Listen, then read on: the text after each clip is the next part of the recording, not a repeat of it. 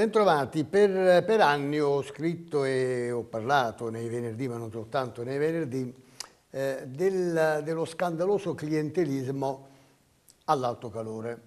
Un clientelismo scandaloso dimostrato dai fatti, da tanti fatti, le eh, promozioni così un po' immotivate, eh, per cui quasi da usciere si diventava dirigenti, eh, promozioni di tutti i tipi, sia nel settore tecnico che amministrativo, stipendi favolosi, appalti sui generis, consulenze che manco ve le immaginate, consulenze agli amici, agli amici degli amici, come si dice, ai nipoti, anche alle amiche, eh, per carità, giusto così per pari opportunità, anche alle amiche, ai nipoti, insomma, ad abbondanziam.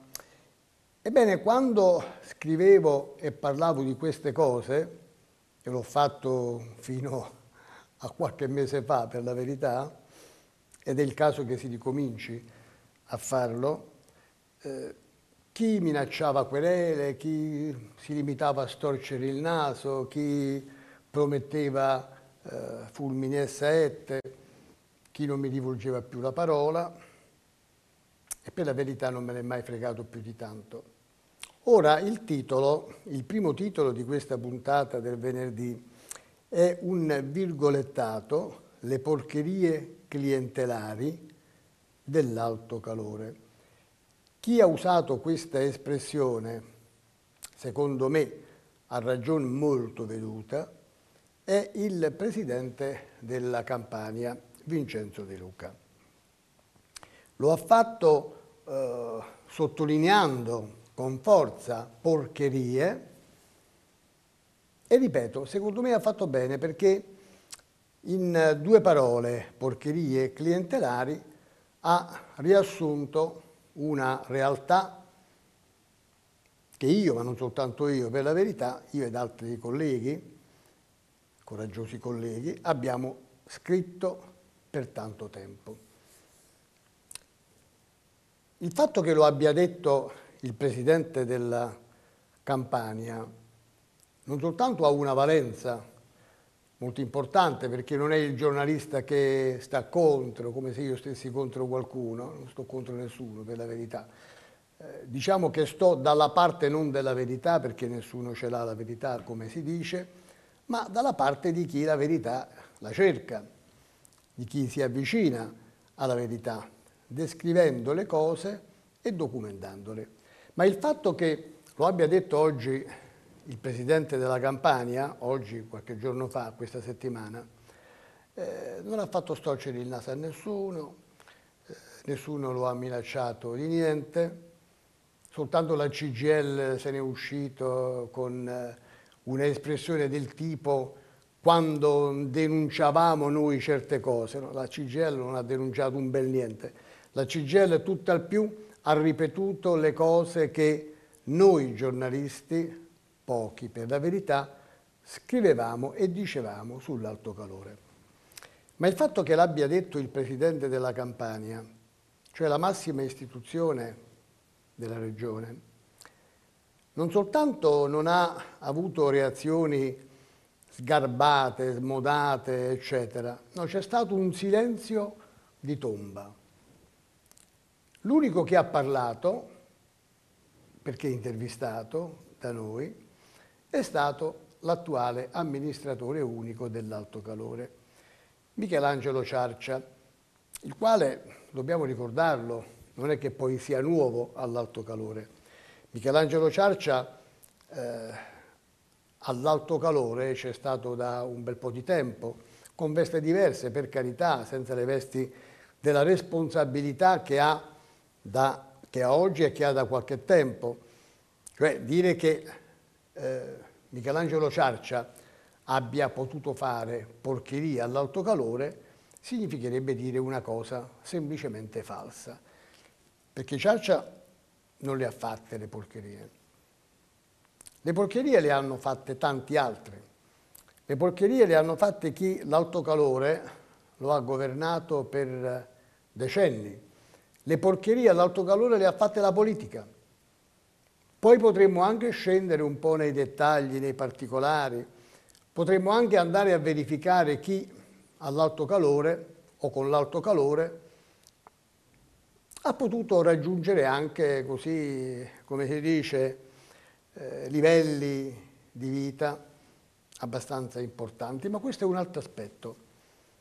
La cosa veramente importante è che l'alto calore è stato certamente una fabbrica di clientelismo smodato ed è stato tutto clientelismo politico. Politico.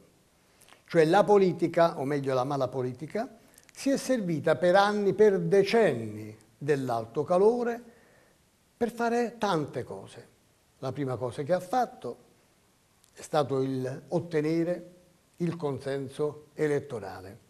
Tanti dipendenti, tante famiglie, tanti voti in più. La seconda cosa che ha fatto, l'ho detto prima, è stato di affidare le consulenze agli amici e agli amici degli amici, ai nipoti, alle amiche.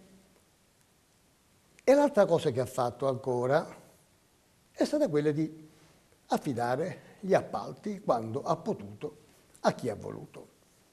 Ora, se dovessimo risalire la corrente dell'acqua, trattandosi di alto calore, eh, ci ritroveremmo a dover parlare anche dell'alto calore delle tangenti, ma quella corrente l'abbiamo già risalita tante volte, l'abbiamo raccontata, quella corrente, quando c'è stato lo scandalo delle tangenti all'alto calore, è roba vecchia, oltretutto è roba, sarebbe il caso di dire, sepolta. Ma il problema qual è? Il problema è che l'alto calore o all'alto calore non sono stati fatti danni di spreco di denaro, di clientela, eccetera, ed è finita lì. Ecco, se fosse finita lì non ci sarebbe più storia, non saremmo manco più a parlarne. Il problema è che tutte quelle porcherie clientelari, come le ha chiamate De Luca, giustamente, io mi ero così limitato a dire scandalo vergognoso di clientelismo politico, ma porcherie clientelari, devo dire la verità, mi piace di più, è più forte, è più incisivo, è più immediato, tutto questo sarebbe storia passata se non incidesse sul presente.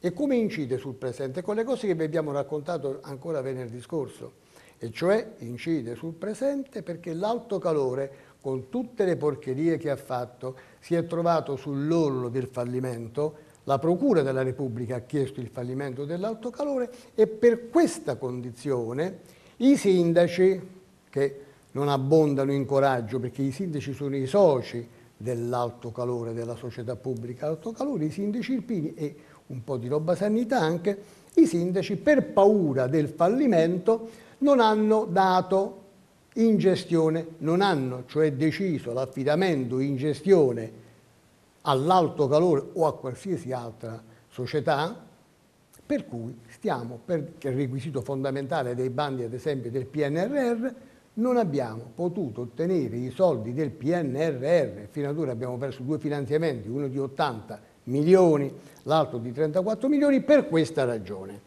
Quindi porcherie clientelari che hanno portato a questa conseguenza. Ecco perché è storia attuale, ecco perché non stiamo andando a disturbare i sepolcri. No, è storia attuale, cioè tutta quella robaccia tutta la gestione clientelare dell'alto calore oggi ci impedisce di avere i soldi, ad esempio, per, fare, per rifare le reti idriche con la. C'è un danno infinito che continua. Signori, il problema sapete qual è? È che la politica per questi guai, per questi danni, quando dico la politica, dico i politici di quella politica, nessuno di loro ha pagato. Questo è il punto. Allora non ci possiamo non trovare d'accordo con De Luca, il governatore, magari se l'avesse fatto anche un po' prima sarebbe stato meglio, ma forse ha voluto avere in mano tutte le carte necessarie per poter valutare e dire porcherie clientelari. Ha fatto bene. Vogliamo però sperare che ci sia qui un punto e non da capo, un punto e andiamo avanti. Cioè andiamo a vedere da oggi in poi come ci si comporta per rimediare, se è possibile rimediare. Ma dicevo di Michelangelo Ciarcia, lui non ha alcuna responsabilità, però il fatto che Michelangelo Ciarcia dica, commentando le parole del governatore, dica, come ha detto, il governatore ha ragione, quindi Michelangelo Ciarcia certifica, dice, sostiene anche lui che all'alto calore sono state fatte le porcherie clientelari. E però santa miseria, io dico a Ciarcia, che è una persona per bene, per carità, è l'amministratore per carità, ma santi Dio, ma se è a conoscenza delle porcherie clientelari che sono state fatte e deve esserne a conoscenza per forza, si dice De Luca ha ragione, perché se non è così vuol dire che la sua affermazione non è altro che un inchino a De Luca e questo non può star bene, caro Ciarcia, perché gli inchini non si fanno né al governatore De Luca né a nessun altro, nemmeno al Presidente della Repubblica si fanno gli inchini. Di fronte a certe situazioni c'è un'altra arma, c'è l'arma della denuncia. Signori, c'è una omertà non soltanto rispetto alle azioni della Camorra, c'è anche una omertà istituzionale che è addirittura più pericolosa quando non si denunciano cose, misfatti di cui si è a conoscenza. Ma noi attendiamo, fiduciosi, che in qualche modo anche qui si possa trovare i colpevoli, anche qui si possa dire non mandati in galera qualcuno, ma che qualcuno possa pagare, sapete quale prezzo? Soltanto il prezzo politico, nel senso che certe facce in politica non dovranno più comparire né quelle che direttamente hanno fatto certe cose, né tantomeno i complici oppure i figliastri di quelle porcherie clientelari. Il secondo argomento, Michele, penso che non arriveremo a quattro, ci fermeremo a tre oggi. Il secondo argomento, com'è il titolo? Ah, ecco, è un titolo un po' bello forte, no? Una fabbrica di asini, è il titolo che ho fatto volontariamente una provocazione nel telegiornale di ieri, ieri giovedì per chi ci ascolta questa sera in prima battuta. Una fabbrica di asini e si riferisce alla scuola in Campania, al sistema regionale Campania che, voglio precisare subito, non c'entra la regione istituzione, sistema regionale Campania, ma dove la regione non ci azzecca niente riguarda il numero di scuole, riguarda la preparazione degli insegnanti, riguarda le attrezzature che abbiamo a disposizione, riguarda la dispersione scolastica, riguarda tante cose che non ci azzeccano con la regione istituzione. Ebbene, Invalsi eh, non è una cattiva parola, Invalsi è l'Istituto Nazionale per la Valutazione dei Sistemi, del sistema educativo e della formazione nazionale e poi anche regionale, nel senso che questo istituto fa una valutazione regione per regione. Io non voglio portarla per le lunghe, dico soltanto quello, riprendo soltanto le cose che abbiamo detto nel telegiornale di giovedì, che hanno riportato i giornali, naturalmente, non perché fosse stato un nostro scoop, per carità, eh, i dati invalsi sono dati pubblici, i giornali hanno ripreso quei dati pubblici, noi abbiamo ripreso la notizia e poi l'abbiamo sviluppata naturalmente secondo il nostro stile, cioè secondo le informazioni che tenevamo ampliate con dichiarazioni, con commenti, eccetera. Ora, qual è il problema serio? Qui ci sono due problemi. Il primo, la Campania, insieme a un po' il resto del sud, è la regione che come sistema di educazione e di formazione, educazione scolastica, la Campania è in fondo, proprio in fondo, in fondo, in fondo alla classifica insieme alla Sardegna, insieme alla Sicilia, naturalmente insieme alla Calabria, eccetera. Pensate che i nostri studenti, specialmente quelli delle superiori, non riescono a superare il livello base dell'italiano, della conoscenza dell'italiano. Pensate che per quanto riguarda la matematica siamo ancora peggio, cioè 8 studenti su 10 non ce la fanno. Per la lingua inglese manco a parlarne. Siamo a livelli decisamente scandalosi, tanto che gli esperti di Invalsi hanno definito la condizione della Campania una catastrofe educativa. Cioè stiamo inguaiati. Io ho titolato provocatoriamente la fabbrica degli asini, il nostro sistema regionale come fabbrica di asini, soltanto per dare l'immediatezza, ecco, la provocazione forte di un fatto molto molto grave. Perché signori, fino a quando si è ciucci per sé, certamente non è un fatto positivo, ma è un problema limitato a una persona. Quando l'asineria, la ciucciaggine, diventa collettiva, cioè diventa sistema, parliamo di ciucciaggine nel sistema educativo, attenzione, allora diventa un problema, diventa un problema serio perché è tutto il sistema poi economico-sociale che ne risente e ne risente la capacità di trovare lavoro, perché le offerte di lavoro vengono fatte anche in base a determinati parametri. Un manovale, per fare un esempio con tutto il rispetto per il manovale, che non abbia letto Manzoni o che comunque no, non si esprima in italiano corretto, un manovale che parla in dialetto, napoletano, avellinese, mirabellano, eccetera, non fa danni. E comunque non è quello che può essere ostativo, quella difficoltà essere ostativa della sua capacità di trovare lavoro. Ma quando cominciamo ad un livello, quando andiamo ad un livello leggermente più alto, eh, succede quello che stiamo vedendo. Difficile, è difficile trovare lavoro perché le offerte di lavoro sono in qualche modo parametrate anche a determinate capacità.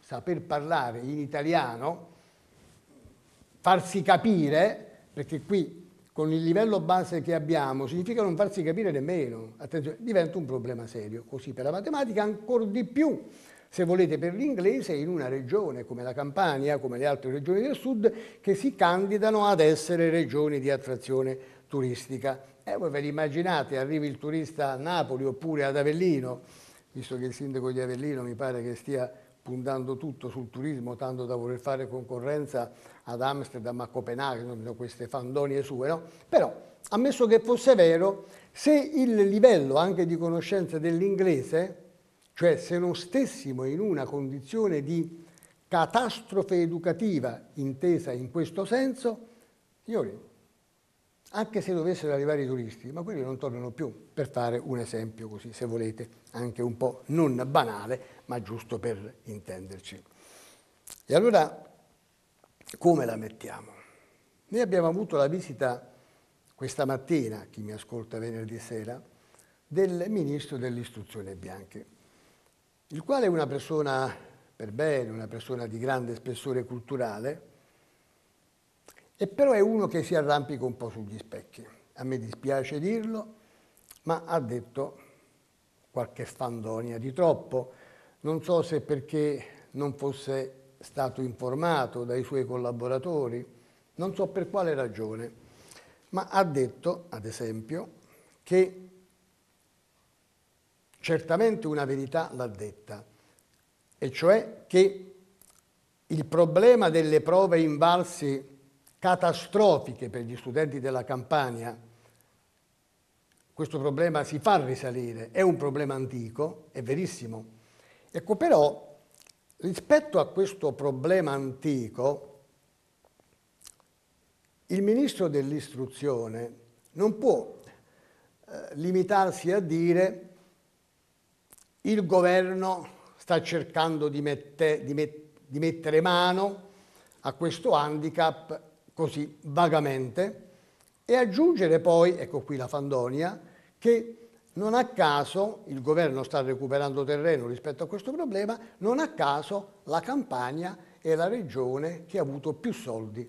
E no, non è assolutamente vero, purtroppo. Eh, qualcuno si è preso la briga di pubblicare la ripartizione delle risorse, perché questo, questo fatto, questo dato si ricollega poi alla sanità, si ricollega a quello che De Luca dice, purtroppo inascoltato. È una voce che grida nel deserto ormai. Io devo chiedere al governatore, già che è una persona anche amica, devo dirgli non gridare più nel deserto, hai l'effetto contrario, state zitta. Può darsi che se ti stai zitto tu su questa storia, per non farti dispetto, se ti stai zitto, per non farti dispetto, cioè per non contraddirti, ci fanno altro, ci danno i soldi. Allora, la Campania ha avuto, nella distribuzione delle risorse, ha avuto, eccola qui, 1.990.714 euro, 1.900.000, 2 milioni di euro. La Campania fa 5 milioni e 900.000 abitanti. Signori, la Lombardia, che fa 10 milioni, cioè fa il doppio della Campania, se la ripartizione fosse stata equa, cioè tanti abitanti, tanto ad abitante, tanto si dà, la Campania, la, la, la, Lombardia, chiedo scusa, avrebbe dovuto avere, avendo il doppio degli abitanti della Campania, avrebbe dovuto avere 4 milioni di euro, 1 milione e 9 per 2, 4 milioni di euro. La Lombardia è buona, è brava, anziché 4 gliene diamo 8. Ma vogliamo proprio premiarla perché la Lombardia è la Lombardia? Gliene diamo ancora di più, il doppio del doppio, gliene diamo 16. Niente affatto, eh, signor Ministro, la Lombardia ha avuto la bellezza di 66 milioni e 800 mila euro rispetto alla miseria data alla Campania di 1 milione e 990 mila euro. Allora come vogliamo metterla? Questa roba, ma le altre regioni più piccole della Campania, il Piemonte più piccola della Campania, 22 milioni. Trento, addirittura Trento, 7 milioni. Quest'altro, la Sicilia 17, il Lazio 14, che è un po' più grande della Campania, 14 milioni. Insomma, ci hanno trattati, lasciatemi passare l'espressione, a pesci in faccia il famoso TIF, no? il trattamento ittico-facciale. Ci hanno fatto un trattamento ittico-facciale alla grande, con grande maestria. Allora, io dico, ecco perché abbiamo una classe dirigente politica in questa regione, fatta pace di qualche anima pia, e in questa provincia in modo particolare, una classe dirigente del tutto inadeguata, perché nemmeno di fronte a queste cose riesce ad avere l'orgoglio, il coraggio, il buonsenso, l'onore di farsi sentire, di battere i piedi, di prendere i forconi, perché a questo punto siamo. Se non prendiamo i forconi, eh, ci manca pure che insomma arriva il magistrato che mi denuncia o mi, mi, mi vuole sentire per istigazione a delinquere, no, i forconi simbolicamente per dire ci avete rotto le scatole. Però per fare questo dobbiamo farlo rispetto ai nostri rappresentanti istituzionali. C'è a questa categoria dello spirito che non serve a niente, che fa soltanto chiacchiere, continuano a fare chiacchiere. È un problema molto molto serio, anche perché questa ripartizione di risorse per la scuola fa il paio con la ripartizione della, delle risorse per la sanità.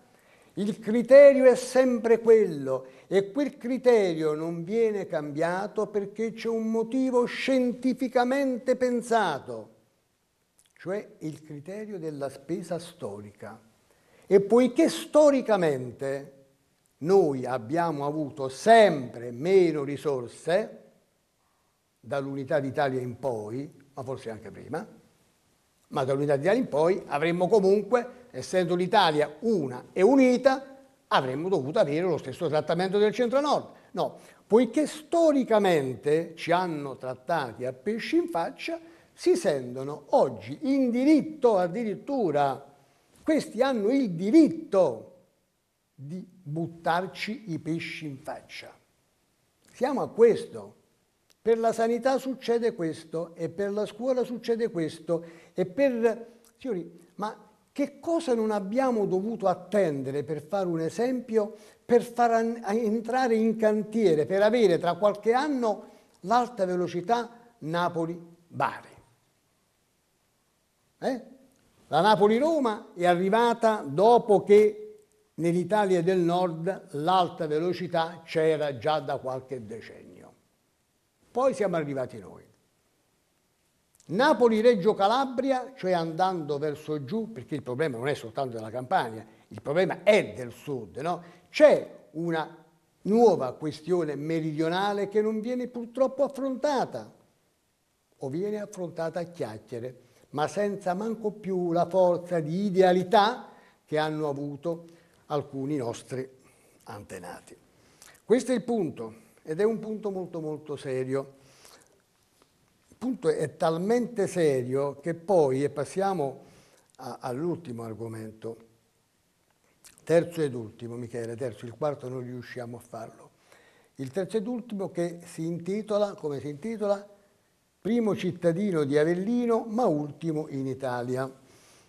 Il Sole 24 Ore, che non è il giornale della parrocchia accanto, dico parrocchia per dire, insomma, la parrocchia c'è, c'è tanti fondi, tanti giornali, una parrocchia qualsiasi, la potessi permettere eh, di fare un giornale con studi, con eh, centro studi importanti che elaborano i dati, no, insomma, questo può fare il Sole 24 Ore.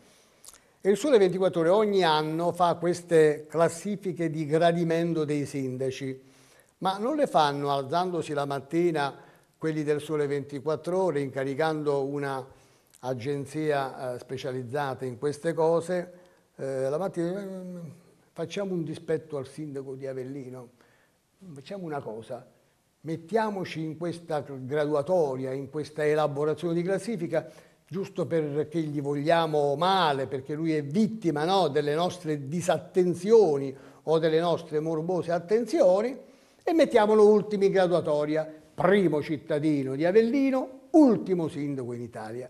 Allora, da questa classifica che il Sole 24 Ore fa ogni anno, è risultato che il sindaco di Avellino, insieme a quello di Lecce e di Siena, quindi sono in tre, sono ultimi in questa graduatoria, stanno a fondo della classifica per gradimento, cioè il gradimento. Ed è il gradimento, attenzione, non di una giuria inventata dal Sole 24 Ore, non di una giuria tirata a sorte, no, la giuria dei cittadini di Avellino. Un sondaggio di quei sondaggi fatti eh, con i controcavoli, no? con tanti riferimenti, con tanti elaborati, sondaggi elaborati, anche perché, signori, ma parliamoci chiaro, ma perché il Sole 24 Ore dovrebbe avere poi la cattiva volontà nei confronti del sindaco di Avellino, tanto da doverlo mettere in fondo classifica? No, non c'è, non c'è questo. E però di fronte a queste cose, di fronte a queste verità, a queste verità dette dai cittadini, il gradimento di un sindaco, detto dai cittadini avellinesi, io credo che un sindaco con un poco poco poco di buonsenso, con meno brillantina in testa e più idee, buone idee, un sindaco qualsiasi direbbe caspita, probabilmente direbbe non sto facendo al massimo quello che vorrei fare, quello che potrei fare. Ecco, un sindaco responsabile, un sindaco che avesse la capacità di guardare la realtà, direbbe questo e correggerebbe i suoi comportamenti amministrativi, si interrogherebbe insieme ai suoi collaboratori, sentite, cos'è che non va? magari facciamo tutto e i cittadini non lo percepiscono, anche soltanto questo, ma non si può sfuggire al giudizio dei cittadini, il giudizio che poi elaborato dal Sole 24 Ore ha portato a quel risultato, non si può sfuggire a quel giudizio dicendo ma no, io do una lettura diversa di queste cose, non sto in fondo alla classifica o anche se ci sto sono comunque il migliore. Questo è il punto. Il problema non è, attenzione, del sindaco di Avellino. L'ho citato come esempio, come esempio eclatante, come esempio paradossale di smarrimento della capacità di guardare alla realtà. È questo che manca. Abbiamo una classe dirigente politica e amministrativa in questa provincia un po' confusa. Ecco, mettiamola così. Voglio essere buono al massimo. Leggermente confusa. E allora prendetevi il caffè, fatevi una canna, fate qualcos'altro, sciatatevi, perché non c'è proprio più tempo da perdere. Stiamo andando a fondo. A venerdì prossimo.